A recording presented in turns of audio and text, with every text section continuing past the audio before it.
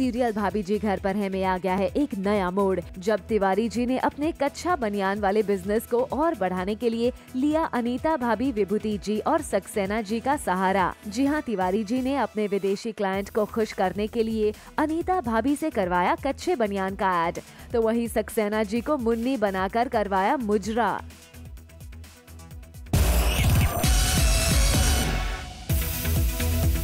बोले एक तरफ़ जहाँ सक्सेना जी ने मुन्नी बनकर लगाया ठुमका और अपनी अदाओं से किया खुश तिवारी जी के विदेशी क्लाइंट को, वहीं दूसरी तरफ़ विदेशी क्लाइंट खुश होकर तिवारी जी को देता है चेक और साथ ही तिवारी जी को देता है एक बड़ा बैग ये कहकर कि उसका दोस्त टोनी आएगा तो ये बैग उसे दे दें। ये बोलकर वो वहाँ से चला जाता है जिसके बाद सभी हो जाते हैं खुश और करने लगते हैं अपने अपने हिस्से की बात लेकिन सब इस बात से अनजान है कि जाने अनजाने में तिवारी जी ने फंसा दिया है सभी को For all the Garma Garam Bollywood gossip news and more, download.